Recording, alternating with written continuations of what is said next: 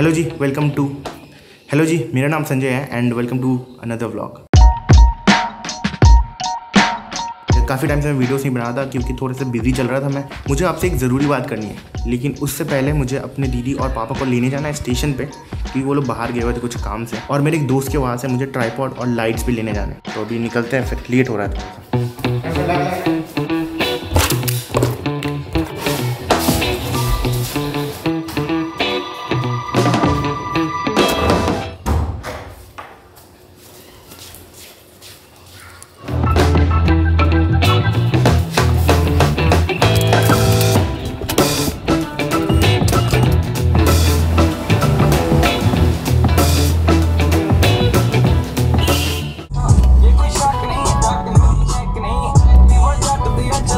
कोई यार, हमारे इस ब्रिज का रास्ता वो ठीक करवाओ यार, इतना ज़्यादा ख़राब हो चुका है। बीस दिन पहले मैं जब दिल्ली गया था तो इतना ज़्यादा ख़राब नहीं था, लेकिन शायद बीच में बारिश वगैरह आया था तो उसकी वजह से बहुत ज़्यादा ख़राब हो चुका है। पता नहीं यार, क्या कर रही है।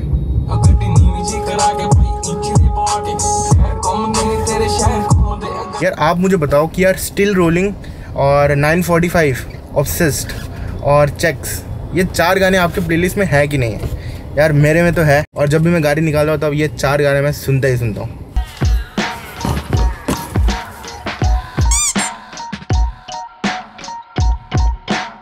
स्काई कंप्लीटली साफ़ है। लेकिन मेरे को तो वीडियो शूट करना था ऊपर। और बारिश आ चुकी है।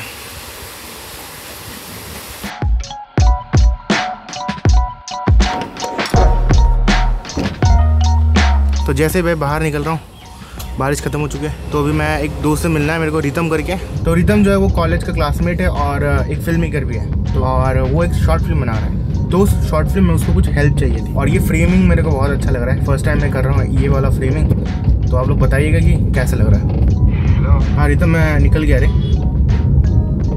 अरे पकौड़े के वाले दुकान पर ही आ जा सीधा।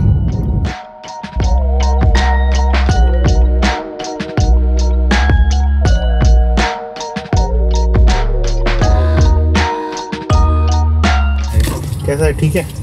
बढ़िया। ये है रितम जिसके बारे में आपको बता रहा था। मैं देखो व्लॉग में ले रहा हूँ प्रॉब्लम है क्या? नहीं नहीं। नहीं है ना? ठीक है। तो this is a director boy new age director boy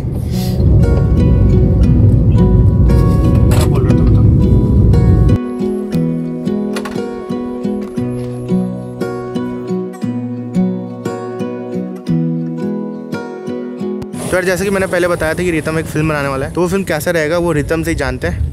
तो रितम कैसा रहेगा वो फ़िल्म हेलो सबसे पहले मेरा नाम रितम है और मैं एक फ़िल्म स्टूडेंट हूँ और ये मेरा पहला शॉर्ट फ़िल्म होगा और आ, ये एक आर्ट टाइप का फ़िल्म है आर्ट हाउस फ़िल्म है। कॉन्सेप्ट ये है कि it's a switch between past and present reminiscing a past जहाँ पे एक आर्टिस्ट जो होता है उसको एक मॉडल मिलता है। आर्टिस्ट को उस मॉडल के साथ प्यार हो जाता है और उन दोनों के बीच में केमिस्ट्री रहता है फिर अप्स एंड डाउन्स रहता है।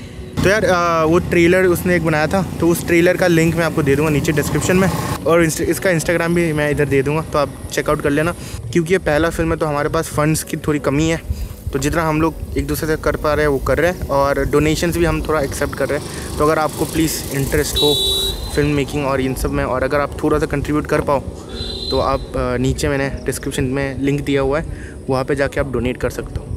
एक और कैरेक्टर आने वाले हैं हमारे ग्रुप का तो सुदीप करके उसको हम शायद जो जानते होंगे फ्रॉम द तुमजांग ब्लॉग तो वो आ रहा है अभी। इसके बाद हम पकौड़े खाएँगे।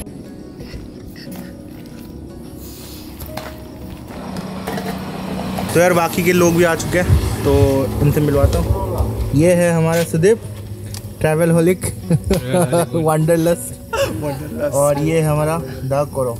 हेलो जी तो यार सीन्स कुछ ऐसा है कि अभी हो गया है नौ और मैं आया हूँ यहाँ देवुदीप के यहाँ पे। मीटिंग ख़त्म करके, क्योंकि मुझे यहाँ से लेना है एक ट्राईपॉड और एक लाइट क्योंकि मैंने जैसे पहले आपको बताया था कि एक ज़रूरी बात करनी है, और ज़रूरी बात के लिए माहौल बनाना ज़रूरी है।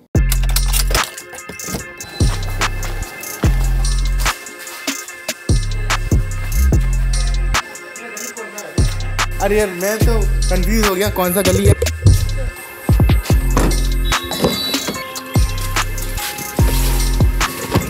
तो यार, अभी बस मम्मी का कॉल आया था कि यार, उनको प्रेशर की कुछ गोलियाँ चाहिए।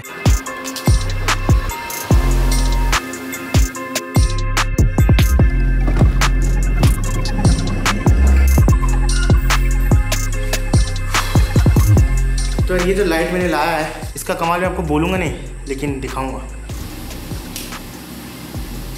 तो ज़रूरी बात यह है कि यार I want to be more relatable relativity ये ऐसी चीज़ है जिससे आप चीज़ों को कनेक्ट करते हो। अगर कोई क्रिएटर है यूट्यूब पे, उससे आप इसलिए कनेक्ट कर पाते हो क्योंकि वो रिलेटेबल है। इरफान भाई ने अपने एक वीडियो में बताया था कि अगर आपको एक रिलेटेबल कंटेंट क्रिएटर बनना है तो आपको दो चीज़ों पे फोकस करनी पड़ेगी। आप कंसिस्टेंट रहें, यानी कि आप ज़्यादा से ज़्यादा वीडियोस अपलोड करें। और दूसरी है रिलेटेबल कंटेंट रिलेटेबल कंटेंट से मेरा मतलब ये है कि आप वो चीज़ें दिखाओ जो लोगों को रिलेट करती हो। जैसे कि आप खाना खा रहे हो या कंप्यूटर ठीक कर रहे हो। तो अब बात सारी ये है कि मुझे ज़्यादा वीडियोस अपलोड करनी पड़ेगी ये सब बातें मैं इसलिए कर रहा हूँ क्योंकि यार relatability is what makes community कि आप उसको देखकर बोले कि यार हाँ ये तो मेरे जैसा ही है। ये बहुत ज़्यादा इंपॉर्टेंट है। अगर आप एक कंटेंट क्रिएटर हो या फिर आप बनना चाहते हो।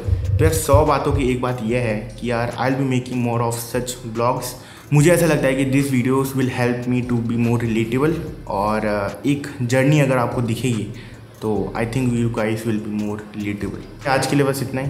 तो बस सीन्स कुछ ऐसे है। यार, इस वीडियो में मैंने कुछ ज़्यादा रिलेटिव नहीं कर दिया।